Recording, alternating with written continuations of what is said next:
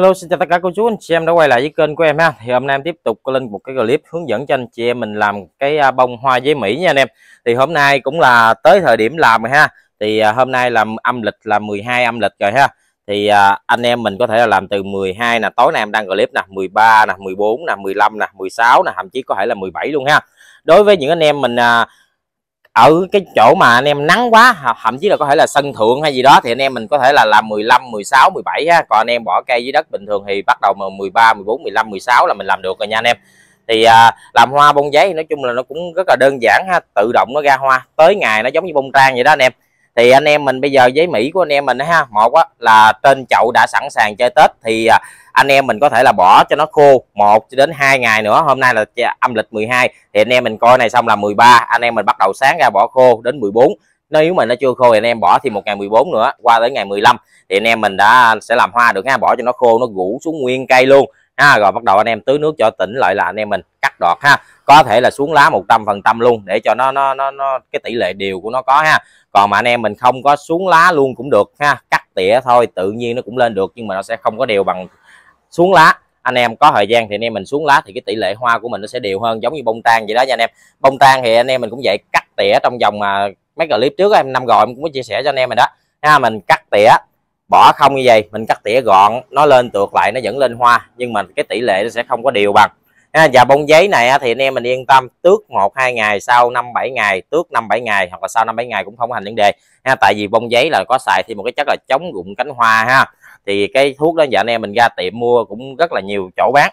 Ha còn nếu anh em cái đó thì không sao đâu nói chung là bông giấy mà anh em điếu mà để tự nhiên thì nó cũng đã đẹp rồi. Còn anh em mà cần chơi cho nó lâu đối với những cái chỗ mà nhà vườn ta thương mại thì người ta mới xịt lại thôi. Ha để cái đảm bảo là trong cái quá trình vận chuyển lên lô bán hoặc là gửi hàng ra cho anh em nó sẽ không có bị rụng cánh hoa.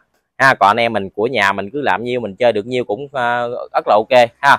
Rồi cây này á thì uh, ở được trước em có lên chậu ha một lần tại vì cây của em là nằm bồn em lên chậu trước để cho nó tỉnh tới điểm hôm nay bắt đầu em làm hoa nè. Còn riêng những anh em cây mà nằm ở dưới đất ha.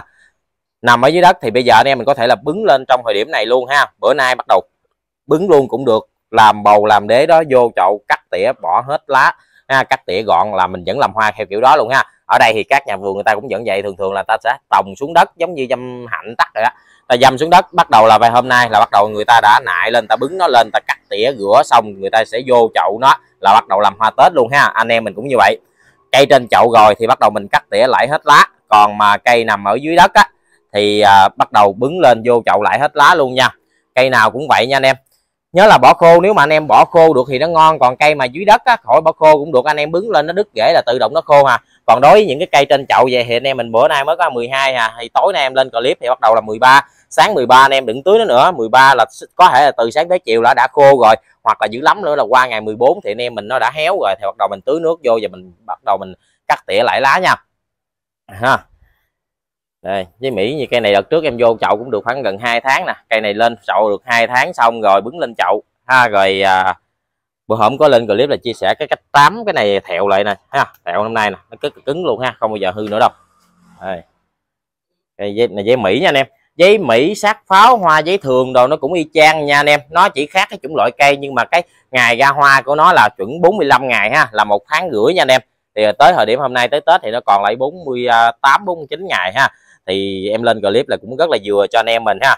Rồi nãy em có nói riêng những anh em mà nằm để cái cây ở trên sân thượng, chỗ cao hoặc là ngay cái vùng ở chỗ của anh em á, nó hơi nắng ha. Nắng nó hơi gắt thì mình làm 16 4 à, à, bữa nay là âm lịch, tính âm lịch nha âm mình chơi tết tay âm á, thì mình phải tính ngày âm.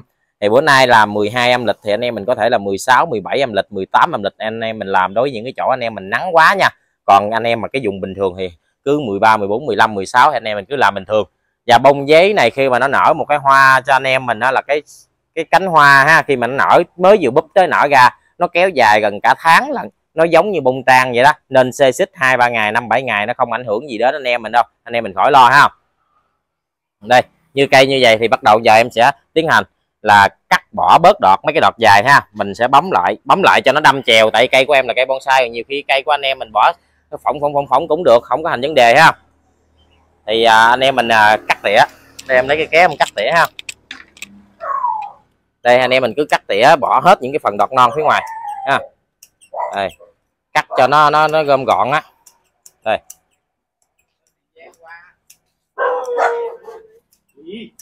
Đây mình cắt tỉa gọn hết như vậy ha. Cắt xong rồi bắt đầu mình sẽ tiến hành lãi lá nha anh em.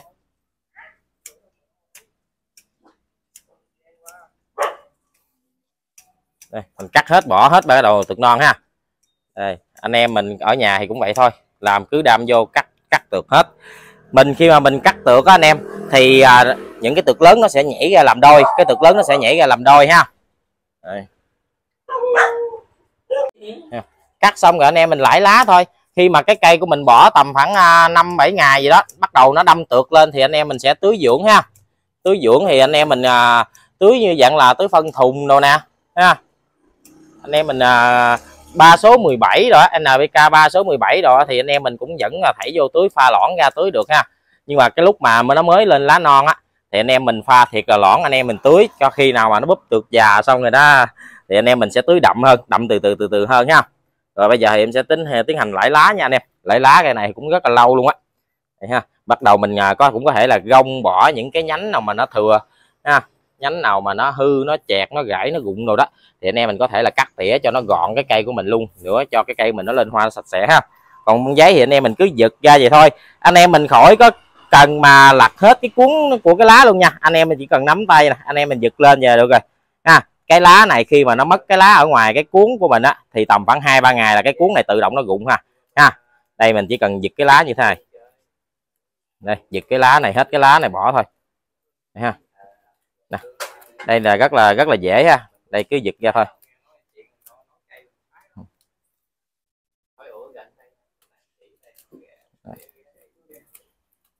Giật ra vậy thôi ha kể cả giấy thường hoặc là sát pháo hoặc là dạng qua lầu hoặc là giấy sát pháo của mình ha với dạng qua lầu thì cũng vậy ha.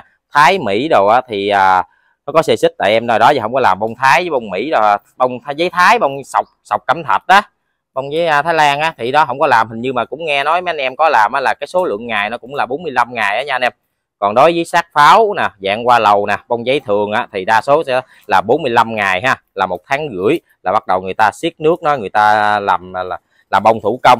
Nói chung là không có cần không có kích gì đâu anh em. Ở đây thì các nhà vườn rồi cũng vậy thôi. Ha cứ lãi lá đúng ngày đúng thời điểm là nó sẽ lên giống như bông tan hoặc là mai vàng của mình vậy thôi. Tới thời điểm là mình sẽ lãi lá ha, cắt nước lãi lá. Rồi bắt đầu tưới dưỡng vô. Khi mà anh em mình lãi xong như vậy nè. Ha, lãi lá xong anh em mình chờ khoảng 10 ngày đó cái cây của mình bắt đầu nó đâm tược mới lên thì anh em mình sẽ tiến hành tưới dưỡng nó để cho cái cây của mình nó có lực có sức ha để cái cây của mình nó sẽ nở bung à, búp nhiều hơn. Ví dụ như người ta không có tưới phân thì người ta nở cái cây của người ta nó nó 10 bông nhưng mà 10 bông nhỏ. Còn của mình khi mà mình à, tưới dưỡng thì mình sẽ được là 20 bông. Nhưng mà bông của mình cái màu nó sẽ tươi hơn màu nó sẽ đậm hơn. Nên anh em mình cũng có thể là dùng phân NPK 3 số 17 á, pha loãng với phân thùng. Anh em mình tưới dưỡng nó cũng được. Khi mà phân NPK 3 số 17 á nó có kali trong á thì nữa là cái màu hoa của mình nó sẽ đẹp hơn. Ha nó nhìn nó dày nó đẹp hơn. Thì tại vì kali anh em thấy không? Thường thường kali phân đó nói chung là ai cũng vậy thôi ai nhà vườn nào cũng xài. Thì tới cái thời điểm à, tưới phân làm á thì bắt đầu là người ta dằn kali vô để cho bông của mình nó đẹp hơn. Kể cả bông trang nè ha, nguyệt quế chiếu thủy gì đó thì à, giấy mỹ nè mai vàng nè hầu như là tất cả các loại cây đều phải tăng kali lên mình có 15 năm 20 là phân tím á thì anh em mình tưới phân tím cũng được. Còn không có phân tím thì mình cứ tưới là 20 20 15 cũng được hoặc là ba số 17 cũng được. Ha nói chung là phân đó thì có anh em tưới là được à. Tại anh em mình không chịu tưới nhiều khi anh em mình không có chịu tưới nên cái cây mình không có đẹp thôi. Đây.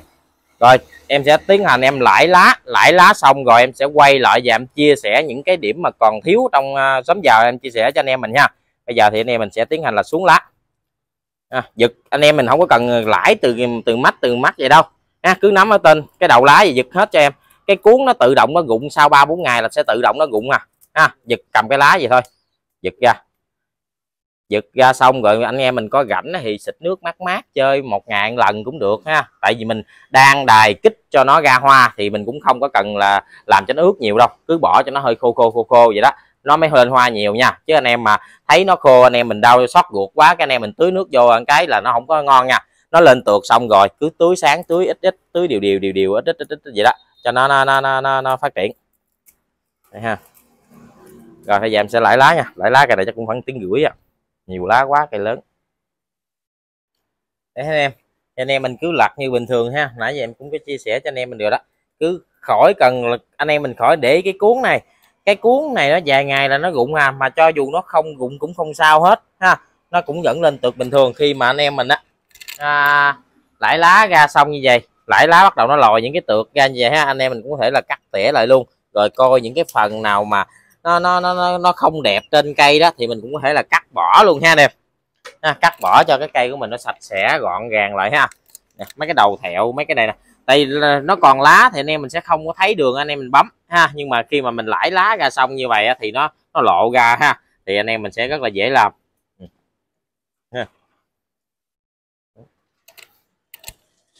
Này, cốt cành cũng khá là già ha. Cái này thì hiện tại em cũng bán rồi làm bông cho khách ha. Ừ. Bấm tỉa cứ giật lá ra. Cây hầu như là giấy mỹ nè sát bông giấy mỹ à, giấy mỹ xong rồi giấy mỹ à, giấy sắt pháo dạng qua lầu ha. Thì à, làm đều là 45 ngày ha 45 ngày. Thì bữa nay là âm lịch 12 nãy em có nói là âm lịch là 12 thì anh em tối nay em lên clip là sáng lại ngày 13 thì anh em mình bỏ khô một ngày 13 ha. Bỏ từ sáng cho tới chiều luôn cho nó khô ha. Còn nếu mà nó không chịu khô anh em mà vô những cái chậu ví dụ như vô chậu này đi anh em vô chậu rồi lâu rồi nó nó bó bầu cứng lại. Anh em ginh nó bỏ ra ngoài luôn. Ginh nó bỏ ra khỏi cái chậu luôn cho nó khô thiệt là khô. Khô rũ đọt xuống. Rồi tưới nước bình thường. Ha. Rồi à, nếu mà cái cây đó như trường hợp mà cây nó khô sớm á thì anh em mình tưới nước vô cho nó tỉnh xong bữa sau bỏ thêm ngày 14 bỏ cho nó khô y gan như vậy luôn ngày 14 cái nữa. Rồi bỏ nước vô 15 lại anh em mình làm bông. Ha. Thì cái đó là vẫn được. Còn mà đối với mà cái thấy đó, nếu mà được như vậy thì nó ngon, ha, còn không, nó không khô, thì anh em mình bỏ một lần cũng được. 13 anh em sáng 13 bỏ khô, bỏ rút ra khỏi chậu, bỏ tới ngày 14 nó khô, rồi cho nó khô rũ đọt xuống, rồi bắt đầu bỏ nó vô chậu, thay phân, thay chất trồng gì cũng được luôn, ha. Làm chất trồng mới cho nó luôn. Để để ờ, chất trồng ở đất sẵn như vậy là mình làm một lượt xong rồi bắt đầu qua năm sau cho tới ngày này của năm sau thì anh em mình là thay phân luôn cũng được ha là phân đã mình đã thêm phân mới cho nó rồi nên trong một năm đó nó sẽ không có bị hư phân ha. Rồi à, lãi lá cắt tỉa gọn vệ sinh cây ngon lành hết. Rồi cứ để cây ở ngoài cái vị trí mà thường thường anh em để bình thường ha. Để có nắng để nắng có hơi mát để hơi mát để ngay cái vị trí bình thường. Nếu mà chỗ nào nắng quá thì anh em mình có thể là tới 15 16 17 anh em mình làm. Đối với cái chỗ anh em để cái cây nắng quá thì mình có thể là làm trễ một tí còn cái chỗ mà bình thường giống như cái sân của em bình thường như vậy thì anh em mình cứ làm 13 14 15 ngày là ok. Và bông giấy hồi nãy em cũng có nói nó xê xích 5 7 ngày không thành vấn đề ha. Tại vì một cái là nó có được cái là hút chống rụng cánh hoa chuyên xài cho bông giấy. Cái hút đó xài nó không có ảnh hưởng gì đến cây hết nên em khỏi lo ha tại nó là chỉ giữ cái cánh hoa thôi mình chỉ bơm với bình xịt nhỏ mình xịt ngay tân cái hoa là nó sẽ kìm lại đó ha là nó sẽ không bị rụng cánh hoa. Nhưng mà ở nhà, nhà của anh em mình á để một chỗ anh em chơi thì nó cũng không có rụng hoa đâu.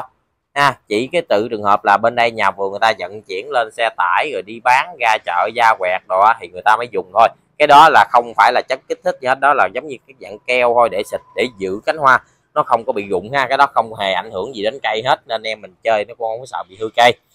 À, rồi ha còn ở đây á tại sao cây này ngày hôm nay là ngày 12 mà em đã làm thì thứ nhất đa số nhà vườn ở đây là người ta làm để người ta đi chợ người ta bán chợ xuân.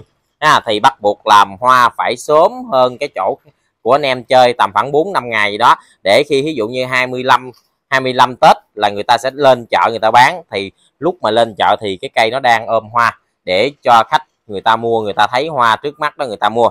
Ha còn anh em mình để nhà chơi thì anh em mình cứ đúng 45 ngày là anh em mình làm. Còn hôm nay ngày hôm nay là em làm là ở dưới nhà vườn dưới đây cũng rất là nhiều người làm luôn ha. Bắt đầu ta làm như vậy hết rồi ta làm trước anh em mình cũng khoảng ba bốn ngày để khi mà mình đi chợ là hoa nó đã tên cây. Ha gộ tên cây để cho anh em mình à, xem và mua cây ha. Rồi cứ à, để lại lá xong tầm khoảng 10 ngày ha, là cây của mình nó sẽ búng tược non lên. Thì trong vòng tầm khoảng 7 ngày là anh em mình đã tưới dưỡng được rồi. Anh em mình có thể tưới dưỡng là phân thùng nè hoặc là phân thùng cộng với 15 năm 20 20 20 15 NBK 3 số 17 3 số 17 3 số 18 3 số 19 3 số 20 gì đó, số nào cũng được hết, ha. Anh em một ký phân thì anh em mình có thể là pha ra tầm khoảng từ 300 lít nước ha, hai trăm rưỡi cho đến ba trăm rưỡi, thì tùy theo cây bự nhỏ anh em mình có thể pha ha. Pha mình tưới 10 ngày, mình tưới một lần, tưới trong vòng tầm khoảng à, 3 lần ha, thì cái cây của mình tược nó sẽ già già tược này khi mà già tược xong thì nó sẽ lên búp hoa ha anh em. Nói chung là bông giấy nè bông trang nè nguyệt quế nè mai chiếu thủy nè ha, là những cái dạng cây mà làm hoa bằng cách là thủ công chứ không phải là cần xịt kích gì đâu nên khi mà anh em mình làm đúng ngày thì nó sẽ lên thôi. Ví dụ như nguyệt quế thì nó tầm sẽ khoảng 25 cho đến 30 ngày mai chiếu thủy cũng khoảng 25 cho đến 30 ngày ha để từ ngày lãi lá nó sẽ lên hoa. Rồi à, bông tan thiện tâm ngày ha, 90 cho đến trăm mốt ha tùy theo dùng rồi à, mai vàng thì 10 ngày 15 15 ngày ha. Đây, thì cũng quay lên chia sẻ ha. Lúc gà bữa nay là quay là vừa đúng luôn á anh em. Ha thì bữa nay là âm lịch 12 rồi. Âm lịch 12 thì anh em mình coi xong tối nay 12 bắt đầu là 13 bỏ khô. Ha 13 bỏ khô chưa khô thì bỏ thêm ngày 14 bắt đầu ngày 15 là mình cắt tỉa như vậy là rất là ok luôn. Ha. cây này rất là to luôn nè bài ra cũng khoảng mét bảy á. Từ gốc tới đây mét bảy này cái này lúc trước có làm với bồn em có quay cho anh em tòng với bồn em có quay cho anh em mình ha. Tàn rất là dày luôn anh em. Thấy không? Khi mà mình lãi lá ra bắt đầu nó nó còn thấy anh em thấy nó có cái phản trống nhưng mà anh em thấy không? Nó lên được một cái vậy nè. Dày là chưa đâu. Tại vì lúc như vậy á là ví dụ như một cái tượng này nó có hai cái hai cái chòi. Ha, hai cái chòi khi mà mình lãi lá từ hai cái chòi này nó sẽ lên là bốn cái chòi. Ha, nó sẽ phát triển còn nhiều nữa. Ừ. bởi vì lãi lá hàng năm cốt lúc trước sữa nè. Cốt này là cái nguyên hồi đó là đâu có cái cốt bay gặt ra này đâu. Từ ngay chỗ này nè. Lúc đó em mua phôi vậy là nó có củ tròn quay nằm ở trong đây thôi. Ha, bắt đầu cái cốt này thả. Cái cốt này nuôi cũng khoảng 2 năm cốt ha. Rồi bắt đầu cắt rút loại bắt đầu kéo nhánh sữa ra tới thời điểm hôm nay ha. Củ. Ôm cái cây ôm cái cho thấy nó bự cây. Đít bự. Giống như cái con gì nó đang ngồi cái nó lú cái đầu ra đây ha. Nó bay đây với mỹ. Giấy mỹ sát pháo dạng qua lầu đó thì anh em mình à, làm đúng ngày này hết nha. Rồi em cảm ơn cô chú anh chị em mình đã xem và ủng hộ em trong thời gian qua rất là nhiều ha. Giống như cây này hiện giờ em chỉ cần lá lãi lá thôi xong rồi các em đẩy ra ngoài đôn thôi chứ không có làm gì nữa nên không có quay cho anh em mình ha. Hẹn anh em mình mấy clip sau. Nếu mà có quay ở tại vườn thì em sẽ quay ra thăm thăm nó thăm nó thăm nó để cho anh em mình coi nó để theo dõi cái cây của nhà của anh em mình coi ha rồi em cảm ơn cô chú, anh chị em mình đã xem và ủng hộ em trong thời gian qua rất là nhiều. Cảm ơn cô chú, anh chị em mình thêm một lần nữa luôn.